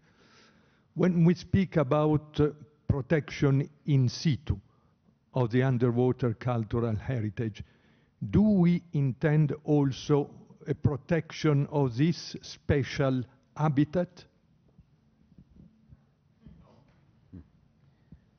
And you're asking this question to? I don't know to whom. and uh, I can. Uh, um, well, I'll, as a maritime archaeologist, I will say that um, working 20, 30 odd years ago, so I'm sure you can collude here, um, that we didn't really take much heed to the biomass, the, the, the, the, the ecosystems associated with the wrecks. And we did try on, on occasion to work with our marine conservationist friends, but they had bigger fish to fry. Um, so, but effectively, I think things have changed, and I would argue that it has to be um, incorporated into understanding shipwrecks now, preservation in situ, whatever. We should be looking at the uh, ecosystem and recording the ecosystem at the same time, and that's that's a driver within the UN Decade of Ocean Science as well. that we'll need to do that to justify, well, from our perspective, the proposals that we're putting forward. So I think that shipwrecks aren't just shipwrecks, they're living environments, and we have to respect that and see that. And that's the only way we can, by researching that, it's the only way that we can actually get a better understanding of the seafloor and changes on the seafloor through time. So I'd say we have to take it on board. But I'm sure that there's, sorry, sorry to interrupt. I'm sure that I bet there's an example where a shipwreck is protected because of its ecological Yeah. value and not its heritage value. I'm sure, Yeah. that, yeah. Uh, yes. Krista? A question? I, I Yes, think al- Marnix. also in Belgium, the first steps to protect shipwrecks were via the nature. Eh, the- we yeah, could easily easily move the, the minister responsible for the North Sea because uh, they could say, well, it's an interesting shipwreck, but at the same time there is an interesting colony of such and such thing, and then uh, it, it went more more smoothly. So, I think we are allies at, at a given moment. eh. and I remember that when I p- also had the pleasure of participating in one of the uh, um, uh, missions of, uh, of Barbara uh, and Franca, there was also a biologist uh, on, on the boat to actually work with them. So I think that it is increasingly so in, integrated. Uh, we have a question, yes. It's more an answer, which is an outright no. No, that uh, natural heritage on something that is less than 100 years is, doesn't make the shipwreck protected unless it's protected from an environmental point of view. And once again, taking a feather out of Arturo's cap, it's not studying the marine life just for the sake of saying we have protected black corals, etc. But there is an intricate and inseparable relationship, especially on metal shipwrecks, between the biofilm and the protection of the shipwreck. And then if you frame that within climate change, even for deep shipwrecks, which is, you know, the depths that we manage, because if there is acidification or a change in temperature in the first two meters, A, I ask my colleagues here, have they even thought about all the Posidonia oceanica dying and exposing all the cultural heritage that is underneath? And for people who deal with deeper wrecks, what is another lesser known fact amongst the archaeological community is that the Mediterranean's Posidonia meadows are our biggest carbon sinks. And once these Posidonia meadows start to die, and they will die within the next five years if the, he- if the ocean heat waves continue, we've got to deal with the exposure of cultural heritage, but I think that's the least problem. The second biggest problem is the acidification that th- these are going to, int- to release. So, to come back to, to, to the point, understanding the natural heritage that is present on the cultural heritage is super important, not only as a means in itself to quantify and qualify the black coral and the rockfish and whatever, but also as the, the, its role in the protection or otherwise of uh, especially modern wrecks. I just yes reiterate that I think that the fact is we have to see those ships as an integral part of the ocean floor, of course, and everything around it. And that's the tool that we can use to really strengthen and use on behalf of the 2001 Convention to sort of understand, record, and manage and, and sort of protect um, that cultural heritage in a, in a, and raise the significant the value of it internationally. And, and it has been shown that um, wrecks actually do uh, encourage unique species pertinent to that wreck. Yeah, that's, that's, there's scientific studies to show that. yeah.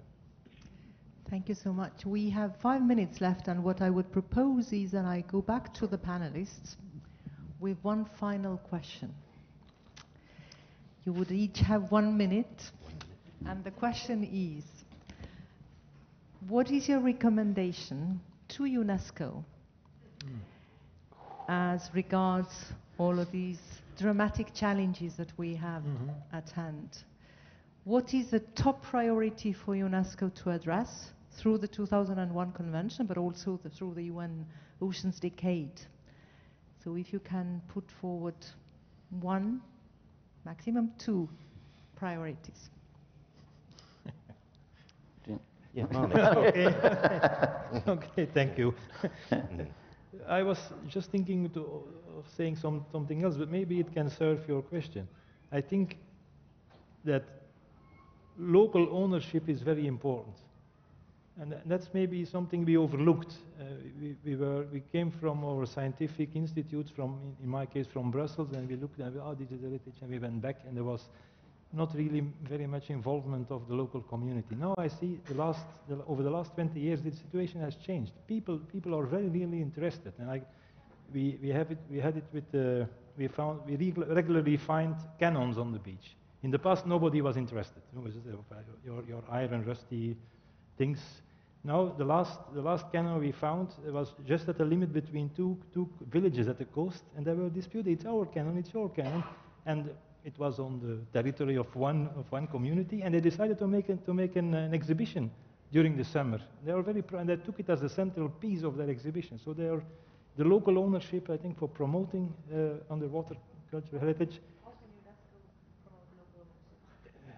Via, amongst others, via the the, the NGOs, the NGOs yeah. is, a, is a way, I think, stimulating local ownership is, is very sustainable, I think. On the, mm. Politicians listen also to the, to the people. Eh? The, the, more people you can convince that this is an important part of our heritage, and I understand it's difficult for the, for the high seas because it's difficult to get connected, but I think the first 10 or 15, as far as you can see it, to connect people with, with heritage is feasible, I think. Mm. That's the only thing I can imagine for the moment. The recommendations to UNESCO, yeah, just remind just, okay. So the most important thing is awareness of the uh, potentially polluting wreck problem. So, you know, through the network that UNESCO sort of commands, the idea that through every project and through every study on a shipwreck of, of sort of First and Second World War era, even though we've got an issue there with with, with designation or, or, or, or recognition, that the idea that that cultural heritage asset could also be a pollution threat. So coming back to what Arturo was saying, put up that beautiful image of where those wrecks were in Mozambique, and if I understood correctly, they were First or Second World War wrecks. So have you considered that they might be, they might have oil on? You know, that, and if but not, that's, that's a scenario. Yeah. That's a scenario, yeah? So uh, we were, we were in Jakarta at the UNESCO meeting in November, and a lot of the heritage managers there that were dealing with their Second World War wrecks, absolutely fantastic, but they weren't aware that those wrecks, as well as being a fantastic heritage asset, a tourist, a tourist attraction, a fishing aggregation area, all those positive things for the blue economy could also be potentially the thing that's going to destroy all those things. So about awareness and bringing the issue of PPWs into programs. So yes, I mean, I, I go back to that point that a shipwreck isn't just a shipwreck, it's an integral part of the ocean, and I think it has to be viewed uh, as such, and UNESCO has to recognize that Nice shipwreck isn't just a large bunch of futtocks and things, or even, you know, and, and wonderful artifacts we have to study is more than that. It's a, it's a living site and part of the oceans that can tell us about the oceans themselves and also use it for all the, the blue economy and all those other things. It's much bigger than just the wreck itself, and that's what we should be looking uh, and promoting. Thank you. Arturo, over to you. Yes, very good points all, of, of that. Uh, yeah, the, the ocean and the heritage as a living one was, was in my agenda, but I'm going to be more practical. I'm going to give maybe recommendations to rather UNESCO in general, the Secretariat itself, uh, to push countries towards some of the actions I'm going to mention. One is already underway, the creation of a, a, a result-based uh, framework, specifically uh, identifying indicators that can tell us uh, well, how the, the convention is being achieved, the principles of the convention, but as well, you know, looking into the contribution of underwater cultural heritage in the framework of the convention towards some of the key challenges that we have. So that creation of hopefully, you know, aiming at getting a reporting mechanism for the convention that doesn't exist today. And that's something that we had to probably uh, uh, take with countries because it's their, their responsibility and um, boost that they push for this in the meeting of state parties because only through a reporting mechanism we can contribute to the Robert report on cultural policies that Mondiacult is, is charging UNESCO to do because it's through that that uh, and the water culture heritage will get a place uh, in in that global report.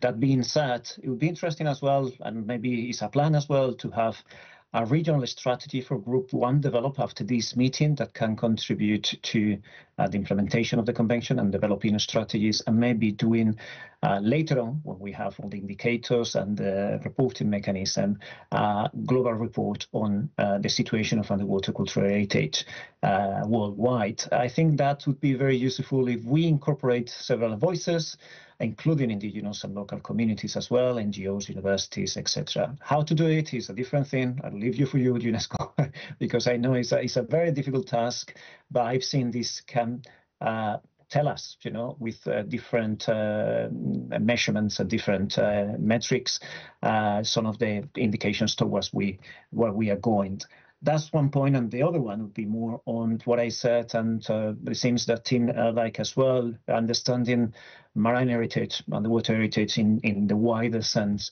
as the means to to to achieve uh, some of the most pressing societal challenges that we have, and uh, maybe some of the strategies of the convention, uh, even some of the points on the operational guidelines can be also looking to helping countries implementing uh, policies towards that point. That's all from my side. Thank you. Excellent. Let, let us then give a round of applause to our panel.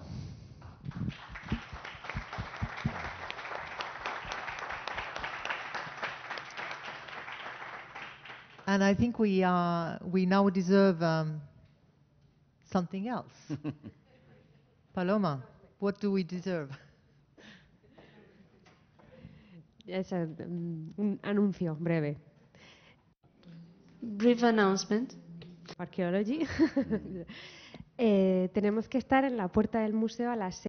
We need to make it at the door of the museum at 15 past 6. 6.15 at the entrance of the museum, followed by concert and dinner.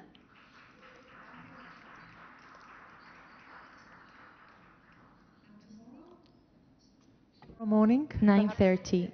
9.30. So uh, for those of you who will get lost or who, who prefer not to come to museum, then uh, we, we will see back here at 9.30 tomorrow morning. Thank you so much for your participation.